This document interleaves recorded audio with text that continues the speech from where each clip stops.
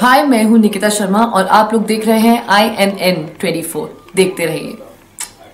नमस्ते मैं हूँ Abhishek Bachchan. Keep watching I N N twenty four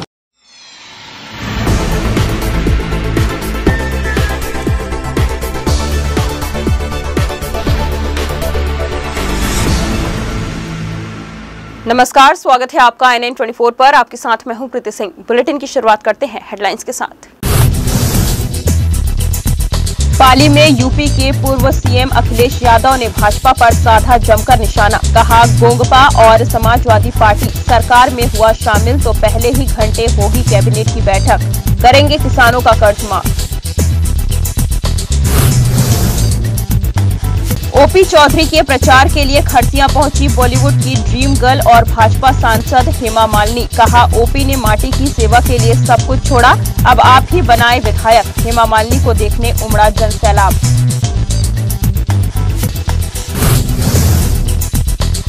शहर में गुजराती समाज ने हर्षोल्लास के साथ निकाली परम ईस्ट जलाराम बप्पा की शोभा यात्रा बड़ी संख्या में समाज के लोगों ने की शिरकत।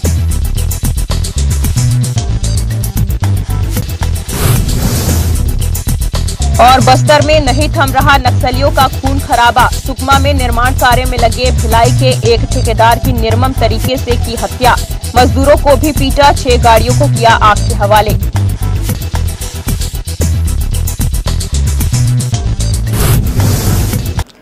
चुनावी मैदान में इन दिनों सभी पार्टियों के स्टार प्रचारकों के दौरे की मानो बाढ़ सी आ गई है।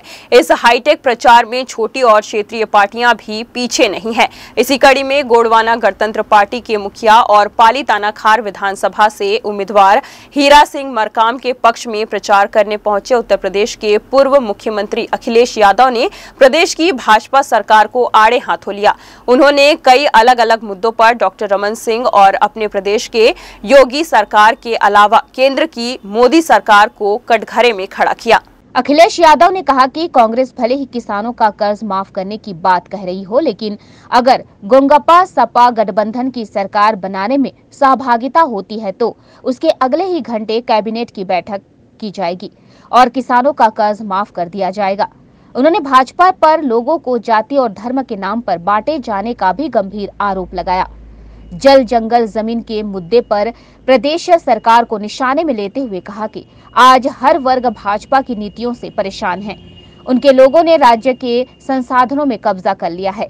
बीते पंद्रह सालों में जमकर लूट खसोट की गई है। उनकी सरकार सर्वहितैषी होगी, जिसमें अल्पसंख्यक, पिछड़े, अगड़े दलित और आदिवासी को सम्मान मिल सकेगा।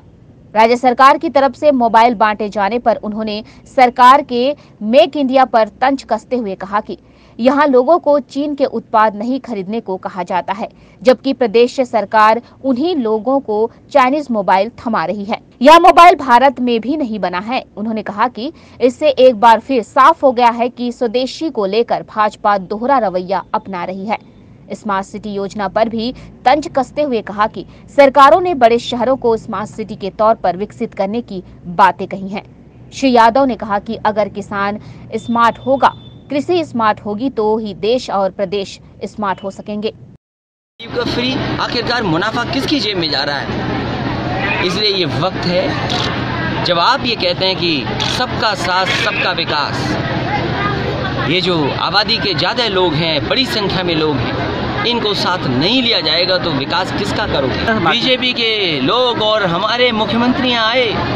मैंने तो तस्वीर देखी आप शायद बेहतर बता सकते हैं कि वो काला चश्मा लगा करके कह रहे थे कि जो इनका नहीं वो किसी का नहीं। हम तो कहते हैं कि जो देश का नहीं वो किसी का नहीं। जो पिछड़ों का नहीं आदिवासियों का नहीं अल्पसंख्यकों का नहीं अगड़ों का नहीं वो किसी का नहीं।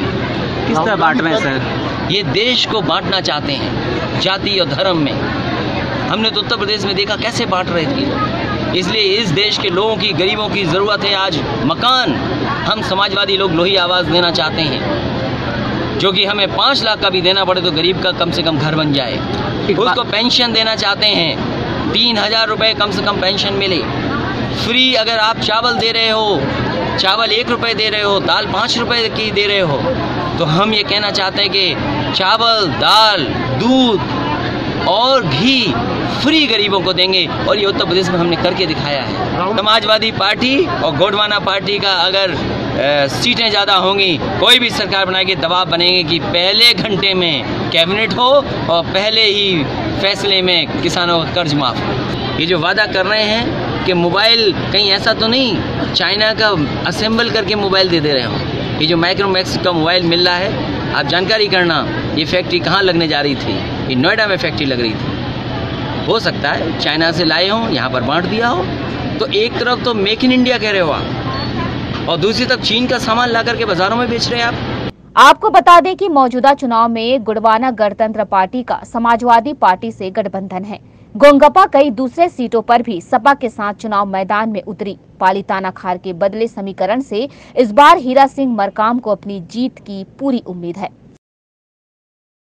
बॉलीवुड की ड्रीम गर्ल को हर कोई जानता है। ये बॉलीवुड में धमाल मचाकर अब राजनीति में धमाल दिखाने।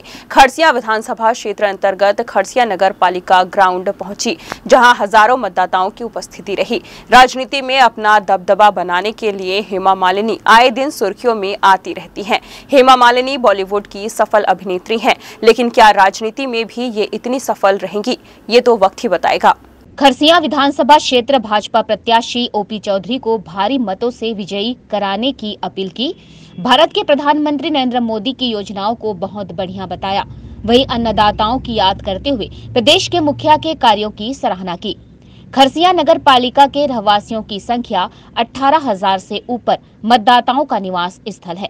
वही मात्र चार से पाँच हज़ार लोगों की उपस्थिति कई अनकही कहानियों को कहते हुए नगर पालिक छोटे से मैदान में ड्रीम गर्ल का कार्यक्रम असफलताओं का रह गया। ऐसे लोगों के ज़ुबान में था।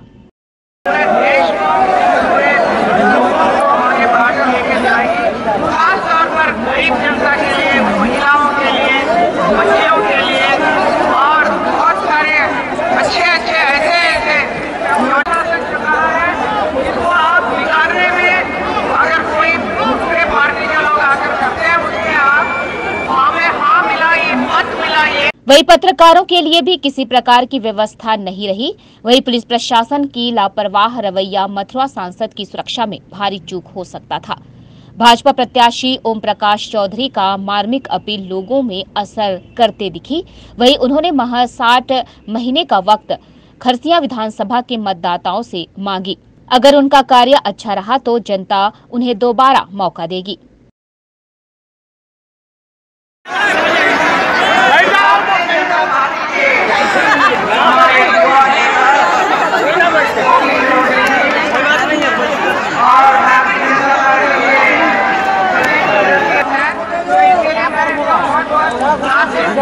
बहुत बहुत शुभकामनाएँ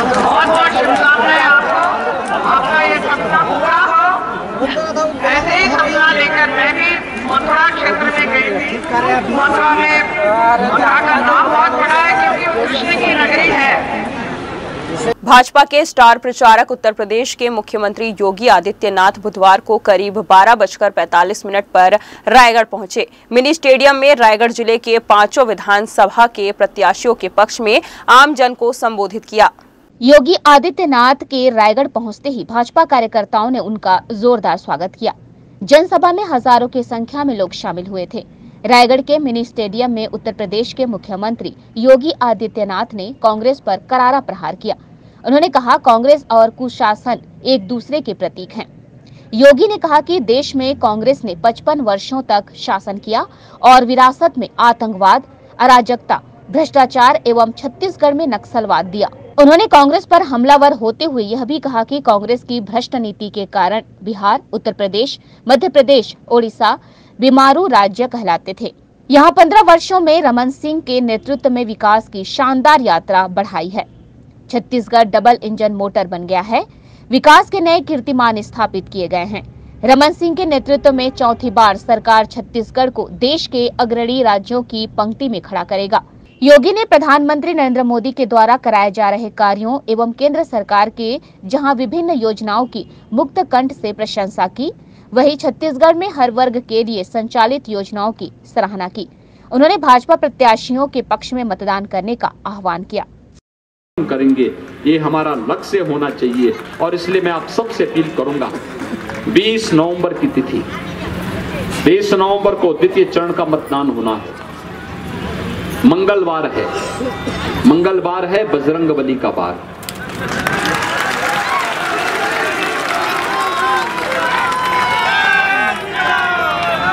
बजरंग बली ने क्या कहा था? एक ही बात कही थी राम काज कीने बिनो मोहि कहाँ विश्राम? यानी जब तक राम का कार्य नहीं करूँगा, तब तक विश्राम नहीं लूँगा। और आपको भी यही करना है। एक ही कार्य होना चाहिए।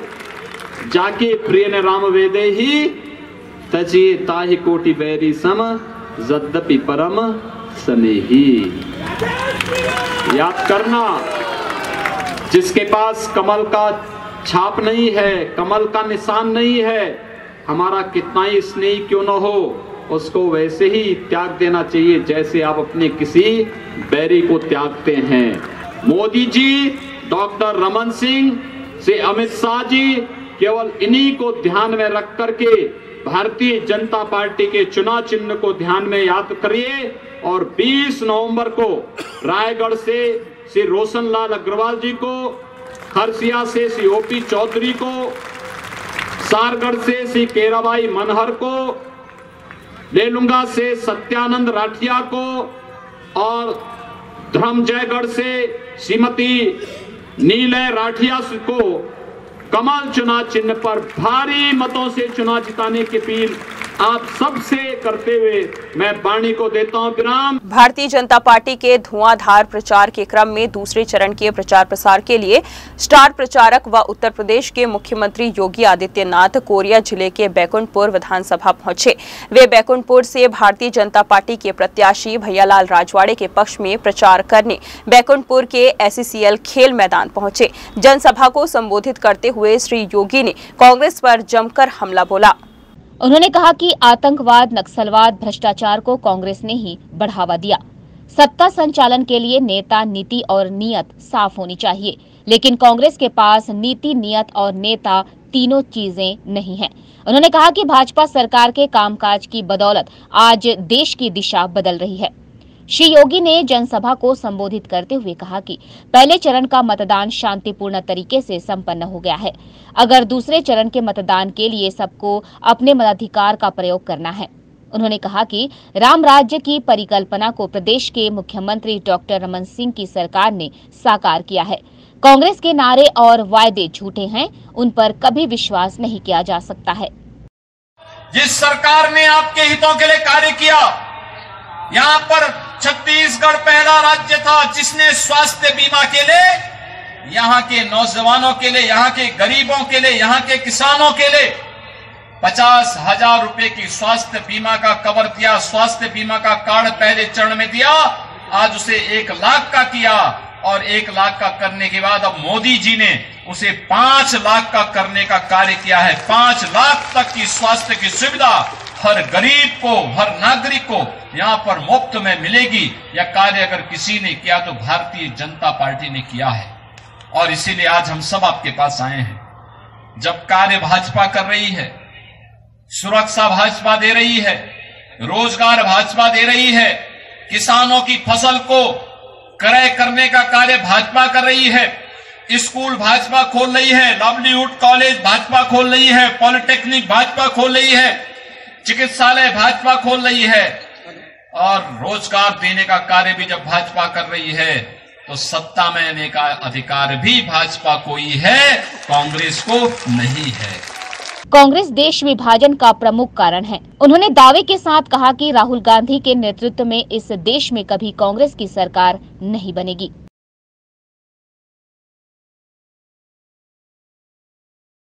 चुनाव में जहाँ कई तरह के अल्पकालिक रोजगारों का सृजन होता है तो वहीं कई दूसरे लोगों के लिए यह पूरा मौका परेशानी के तौर पर सामने आता है। जी हाँ, हम बात कर रहे हैं दक्षिण भारत से नारियल का पौधा बेचने। कोरबा पहुँचे एक व्यवसायी। की नारियल का पौधा लेकर बेचने निकले इस व्यापारी को हमारे रिपोर्टर ने भी कोरबा विधानसभा से चुनाव लड़ रहे एक निर्दलीय प्रत्याशी का प्रचारक समझा। और उससे बात की, लेकिन बाद में पता चला कि वह नारियल का पेड़ बिक्री करने के लिए घूम रहा है। विक्रेता ने बताया कि उसके इस नारियल पेड़ से सजे गाड़ी को प्रचार वाहन समझ लेते हैं और फिर उसे मुफ़्त में ही नारियल पेड़ की मांग करने लगते हैं, जबकि वह उन्हें बताता है कि वह प्रचार नहीं कर रहा है, बल्कि वह पौधे बेचने निकला है। वह लोगों के इस रवैये से खासा परेशान है। वह जहाँ भी जाता है, लोगों की भीड़ इकट्ठी हो जाती है और नारियल के पौधे की मांग करने लगते हैं। हालाँकि उसने खुद ही करीब 100 नग पौधे निर्दलीय प्रत्याशी को बेचे हैं, जिसका इस्तेमाल चुनाव चिन्ह के तौर पर प्रचार के लिए किया जा रहा है। घंटाघर से कोसाबाड़ी मार्ग पर चलना लोगों के लिए इन दिनों काफ़ी मुश्किल भरा हो गया है। आलम यह है कि कई लोगों ने अपने निर्माण सामग्री मुख्य मार्ग पर ही डंप करा दिया है। इन हालात में दोपहिया व पैदल चलने वाले लोगों की जान पर आफत बन गई है। इस तरह छोटे चार पहिया वाहन चालक को भी काफ़ी परेशानी पेश आ रही है। राहगीर अपनी जान जोखिम में डालकर सड़क पर चलने को विवश हो गए हैं। परेशान लोगों ने बताया कि बड़ी मात्रा में सड़कों के किनारे रेत, ईंट और गिट्टी रख दिए गए हैं। इस कारण सड़क पर गाड़ियों की आवाजाही से धूल के गुब्बार उड़ रहे हैं। सड़क के किनारे के दुकानदार भी इस तरह रखे निर्माण मटेरियल से काफ़ी परेशान हैं। इसके बावजूद न ही निगम ऐसे लोगों पर कार्रवाई कर रही है और न ही यातायात विभाग की नज़र इन पर है, जबकि खुद निगम के भी मटेरियल इनमें शामिल है। वाहन का प्रेशर तो आप देख ही रहे हैं, खासकर स्कूल टाइम पे ऑफ़िस टाइम पे या प्लांट के टाइम पे जो आना जाने के टाइम पे बहुत ज़्यादा प्रेशर रहता है। सीधा सीधा आधी रोड कवर हो जा रही है। और ये मुख्य चौराहा समझिए, यहाँ पे सामने पूर्वज स्कूल आपको दिख रहा है। आते जाते टाइम राहगीरों को बहुत ज़्यादा समस्या हो रही है। दूसरी बात क्या एक्सीडेंट्स के चांसेस हम और ज़्यादा बढ़ा दे रहे हैं। ठीक वही कई दूसरे लोगों का मानना है कि यह मार्ग बेहद व्यस्त रहता है।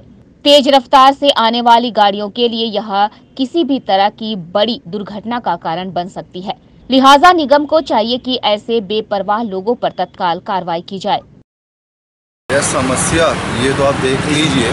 आप इधर ही देखिए, पूरे गिट्टी गिट्टी सब भरा पड़ा हुआ है। और सबसे बड़ी बात ये जो आपके यहाँ पर जो ब्लू वर्ड का चौराहा है, कोई भी बंदा निकल एक तो लंबी लंबी आपकी बाईपासेस नियम की तरह सही है, और ये लंबी लंबी और वहाँ पर अगर टर्न लेगा, वहाँ पे कहाँ टर्न ले पाए एक छोटी सी गाड़ी भी टर्न नहीं ले पाती है। छोटी सी गाड़ी भी टर्न नहीं ले पाती है। और उधर सब एक नॉर्मल स्पीड 30 पैंतीस, चालीस के स्पीड में आते हैं। अब कोई आदमी आया, किसी का ध्यान थोड़ा तो एक बहुत बड़ी दुर्घटना घट सकती है बीचों बीच हिट हो सकता है गाड़ी। भाई तो पता नहीं आता, एक तो ये गिट्टियाँ हो गई। और एक चीज़ और बता देता हूँ। ये तो ये गिट्टी आपकी, मेरे ख्याल से अभी पहले बालू रखा हुआ था वहाँ पर। अभी गिट्टी रखा हुआ। बालू पे भी अगर बाइक वाला वो देखिए, जैसे टर्न कर रहा है, और वो रेत रेत में स्लिप कर गया। आप तो ठीक है, आपने कुछ निर्माण कर रहे हैं। बट एक प्रॉपर जगह पे रखें। एक जगह पे रखें। मेरा कहने का मतलब है। एक तो वैसे ही आपकी बहुत डिज़ाइन बना रहे, पता नहीं कब तो है।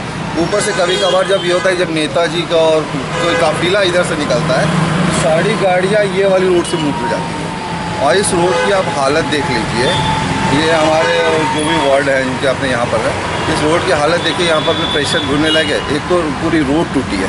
अभी आप जगह देखेंगे, वहाँ अभी बीच में पूरा सीमेंट है, जो इन्होंने पाइपलाइन बिछा के सीमेंट गड्ढा किया, वो भी सीमेंट आए दिन टूटता रहता है। अभी रिसेंटली एक बाइक वाले गिरा है वहाँ। वहाँ रखने से तो बहुत दिक्कत होती है यार। अभी आने जाने वाले लोगों को बहुत दिक्कत होती है यार। एक्सीडेंट की संभावना बनी जाती है। अभी सुबह सुबह ही में झगड़ा पूरा मारपीट होने का संभावना आ गया था।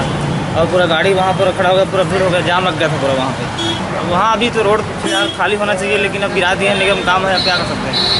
आपको बता दें कि इस तरह की बद इंतजामी सिर्फ़ घंटाघर मार्ग में ही नहीं, बल्कि power house road, TP Nagar, Mudapar, पुराना बस स्टैंड और दूसरे सड़कों में देखने को मिल रही है, जहाँ लोगों ने अपनी निर्माण सामग्री सड़कों के किनारे ही डंप करा दी है।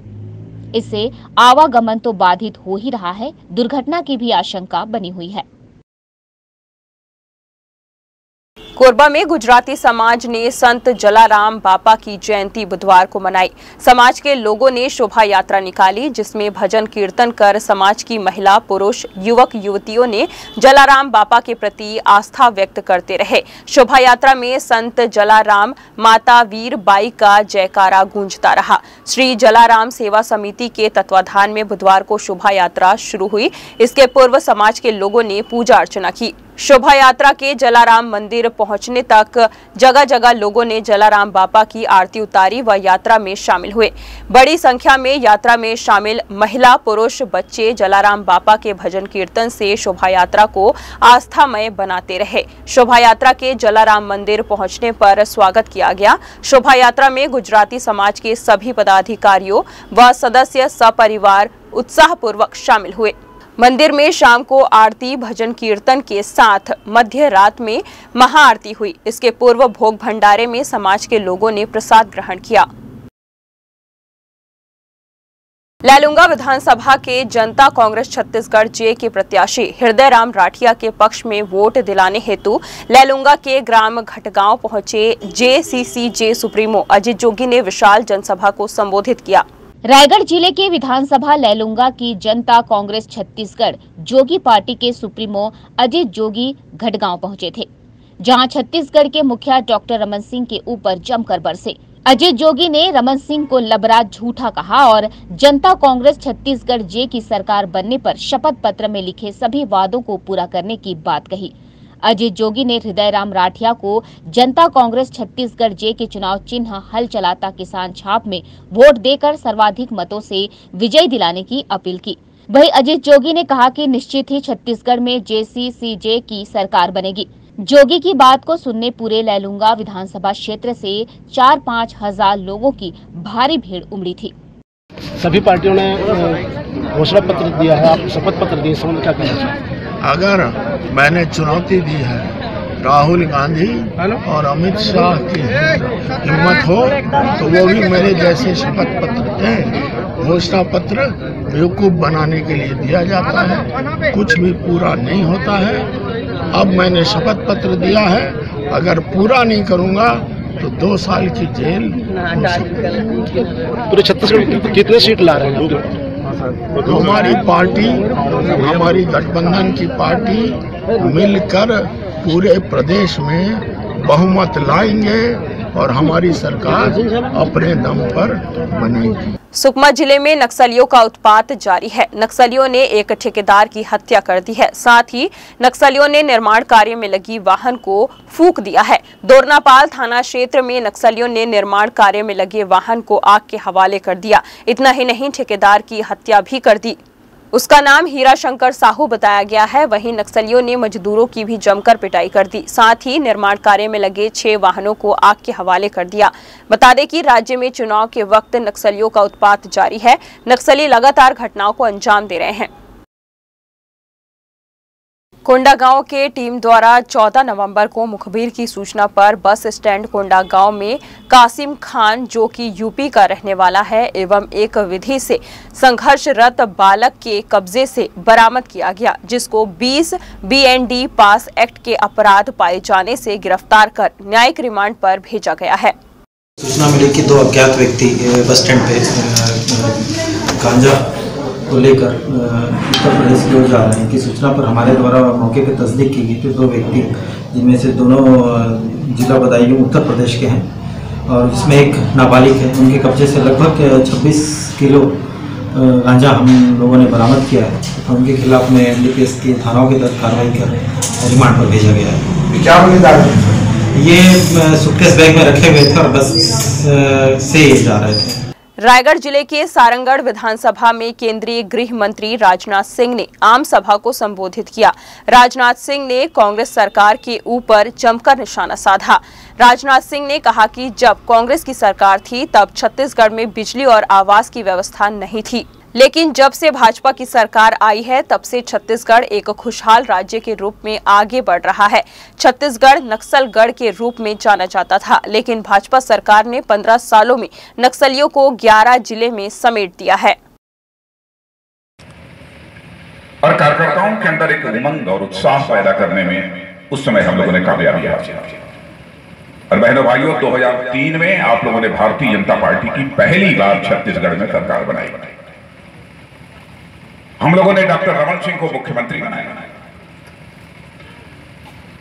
लोग यह कल्पना नहीं करते कि डॉक्टर रमन सिंह छत्तीसगढ़ में एक बहुत बड़ा परिवर्तन करते हैं। लेकिन डॉक्टर रमन सिंह ने उस समय कहा था कि मैं छत्तीसगढ़ में परिवर्तन करूँगा और विकास की रोशनी को घर घर तक मैं पहुँचाने की मैं कोशिश करूँगा। आज मैं विश्वास के साथ कह सकता हूँ कि पंद्रह वर्षों में आज छत्तीसगढ़ ही नहीं, बल्कि पचपन वर्षों में कांग्रेस पार्टी ने यदि केवल 900 कुछ किलोमीटर सड़कें बनाई। तो पंद्रह वर्षों के अंदर उसे साढ़े तीन हज़ार किलोमीटर करने का काम यदि किसी ने किया है तो डॉक्टर रमन सिंह ने किया। पचपन वर्ष, क्या पंद्रह वर्ष पहले? उत्तर प्रदेश में धान की खरीद होती क्या पंद्रह वर्ष पहले कोई भी सरकार आपको बोनस देती यह सिलसिला हिंदुस्तान में यदि किसी ने प्रारंभ किया तो डॉक्टर रमन सिंह ने प्रारंभ किया। पंद्रह वर्षों से केवल भारतीय जनता पार्टी की सरकार देख रही मैं दावे के साथ कह सकता हूँ, पचपन वर्षों में जो काम कांग्रेस नहीं कर पाई, पंद्रह वर्षों के अंदर डॉक्टर रमन सिंह ने उसे करके दिखाया है, बहनों भाइयों। यह बात मैं दावे के साथ कहता मिलकर काम करेंगे तो स्वाभाविक है। तेज़ी के साथ ही छत्तीसगढ़ का विकास। इसलिए मैं आपसे वोट मांगने के लिए आया। पहली बार आया इस ज़िले में तो आ चुका हूँ, लेकिन शायद इस स्थान पर पहली बार आया। फिर भी इतनी बड़ी संख्या में आप सब यहाँ पर मौजूद हम आएँगे, किसानों का कर्ज माफ़ कर मैं कांग्रेस के लोगों से जानना चाहता हूँ। आपने तो बहुत कुछ कहा। कांग्रेस ने तो एक समय कहा था सन सत्तर में, अड़तालीस साल पहले। कि कांग्रेस को वोट दीजिए, कांग्रेस इस हिंदुस्तान से गरीबी को समाप्त कर मैं आपसे पूछता हूँ, गरीबी समाप्त हो गई। कांग्रेस के लोगों से और यदि गाँव में संकट पैदा हुआ है, कृषि में भी संकट पैदा हुआ है तो संकट पैदा करने वाला भी कोई कहे तो यह कांग्रेस पार्टी है। मेरे बहनों, भाइयों, भारतीय जनता पार्टी ने यह संकट पैदा नहीं किया। बुलेटिन में फ़िलहाल इतना ही। देश और प्रदेश की तमाम खबरों को जानने के लिए आप बने रहिए आई एन के साथ। आई एन यूट्यूब फेसबुक और ट्विटर पर भी देख सकते हैं। वेब चैनल के लिए लॉगिन करें डब्ल्यू नमस्कार।